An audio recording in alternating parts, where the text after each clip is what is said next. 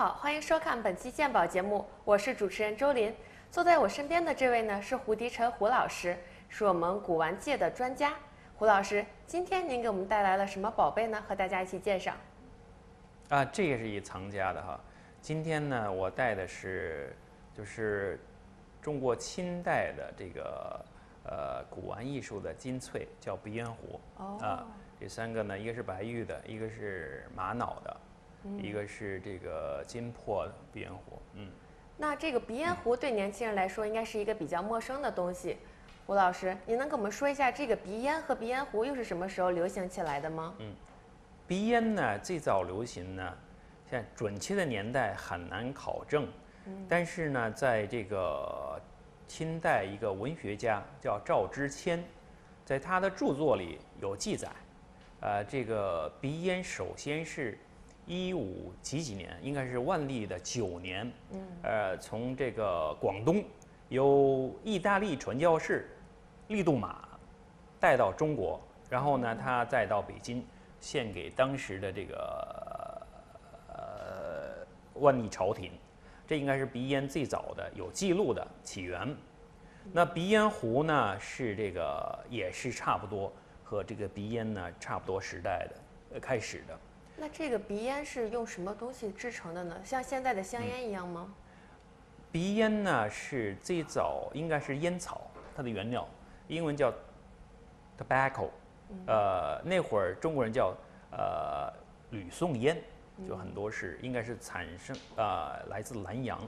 那个鼻烟是怎么开始呢？应该是这个呃，据说是这个呃烟草商人放在库里头之后放久了糟了，糟了之后呢，他也不甘心，然后在鼻烟上呃这个糟的烟叶儿里头加这个呃麝香啊、冰片呐、再加工啊这个薄荷啊再加工，就呃弄成这种粉末状的啊这个呃中国人呢呃用它的时候呢啊洋人包括洋人啊用它的时候呃擦在鼻孔，有像这个芥末一样啊清凉的味道直冲脑门儿，有提神醒脑的作用，同时呢又可以据说是可以防御防病，所以很快就流行开来了。哦，嗯那胡老师，我刚刚有看到这个红色的这个，您刚刚说是什么材质？啊，这个红色的呢叫金珀，哦，啊它是这是一个什么造型呢？它是一个爱。这个这是一个福寿瓜的造型啊，一个瓜的造型，巧雕，你看非常漂亮，它金红色的，然后它把它做成了一个一个呃叫骷髅腕带啊，是一个就是象征这个子子孙孙的福寿连绵，永远不竭啊、这个是个清中期乾隆年的一个啊啊琥珀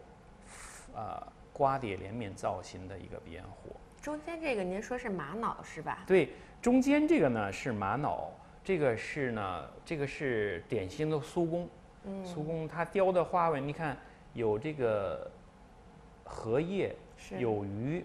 呃，在中国传统的这个彩头里头叫呃连年有余，就说这个非常精美这啊，对雕，这。是巧雕，它利用了这个呃这个皮子啊，这个玛瑙上的皮子，呃，巧妙雕成荷叶啊，翻卷的荷叶啊，游动的这个呃鱼啊，呃，就是这个非常漂亮，而且它这个造型是很很饱满啊，这应该是嘉庆啊乾隆嘉庆之间的这么一个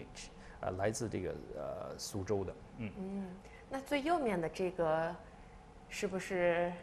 要特别介绍一下？这个是白玉的啊，看来你是最喜欢白玉。这个白玉呢，就是呃比较好的地方，就是它这个是一个一枝梅，而且它又有文字款，这是这个文人雅士啊，这是非常文气。一枝梅象征这个呃诗人的这种呃中国传统文人这种啊、傲商怒放啊、品格高洁，所以这个